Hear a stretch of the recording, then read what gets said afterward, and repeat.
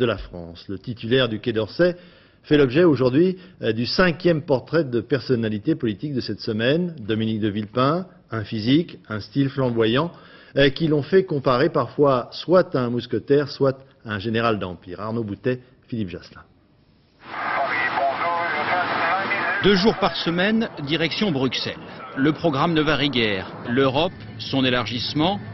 Mais ce 27 octobre a lieu un événement imprévu. Là, tu parles de l'attentat contre la Croix-Rouge.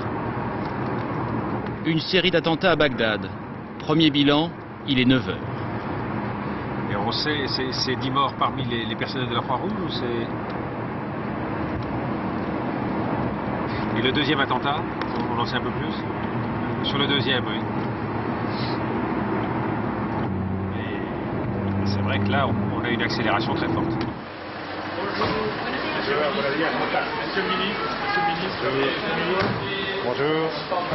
C'est 10h30. Sur l'attentat, on a des éléments nouveaux, non 12 morts. Première réunion à propos de l'Iran, Oui, qui accepte de suspendre son programme d'enrichissement d'uranium. on se voit tout à l'heure. Dominique de Villepin retrouve à Bruxelles ses homologues allemands et britanniques.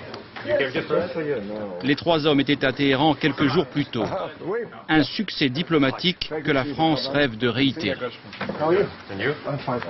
Nous voulons prendre les devants, nous voulons nous coordonner, d'où la volonté des Européens de prendre en main cela en liaison avec la communauté internationale. C'est donc typiquement l'illustration des crises du monde d'aujourd'hui et la façon euh, d'essayer de les résoudre. Depuis la guerre en Irak, le bras de fer franco-américain, les opposants d'hier trouvent un motif de réconciliation. Certes, nous n'étions pas d'accord sur le problème de l'Irak. Mais depuis, nous sommes devenus très proches, lui et moi. Et vous n'allez jamais trop loin dans vos attaques On évite de le faire, car on se respecte tous les deux et on respecte nos deux pays. Est-ce que, la tribune de Côte d'Ivoire est arrivée? Euh, non. C'est l'anniversaire, j'ai dit ce matin. Non, mais renseignez-vous, je vais pas appeler Pervimon. Le lendemain doit paraître une tribune dans Libération. Villepin, l'écrivain poète, doit aussi imposer la rigueur diplomatique. Un climat de tension s'est développé en Côte d'Ivoire, nourri par l'incompréhension et l'intolérance. Je raye, je raye, la, la, je raye jusqu'à tension. Un procès rigoureux. Mené, un procès rigoureux, des sanctions exemplaires. On n'a pas le temps. Bon, mais enfin, il faut, il faut... Il y a encore du travail.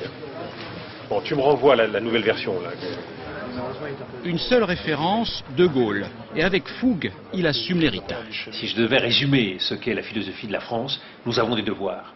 Des devoirs très importants. Et c'est pour cela que nous voulons nous situer aux avant-postes du combat mondial, aux avant-postes de l'Europe, aux avant-postes de la communauté internationale, d'où notre engagement dans le cadre du système des Nations Unies. Cela crée des devoirs. Le devoir de faire aboutir la Constitution européenne. Dans l'Europe des 25, les petits pays réclament plus de pouvoir. Le ministre se charge donc de les convaincre. Oui, oui, je vais essayer d'aller dans tous les pays, dans les, dans les 25 pays avant le... Ah oui Vous, vous allez euh, à l'inspection Non, non, pas à l'inspection, je vais en amitié. Mais pour le PS, cette vision du monde porte un nom, l'arrogance.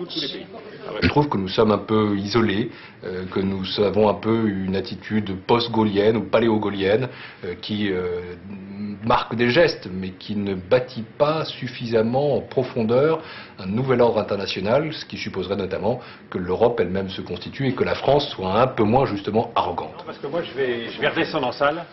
Dominique de Villepin est aussi l'un des artisans de la dissolution ratée de 1997. Apparemment, ils sont toujours dessus. En France, il n'a pas toujours vu juste. Je, je te rejoins. Trois minutes. Alors aujourd'hui, à grandes enjambées, il parcourt le monde avec l'espoir d'avoir raison.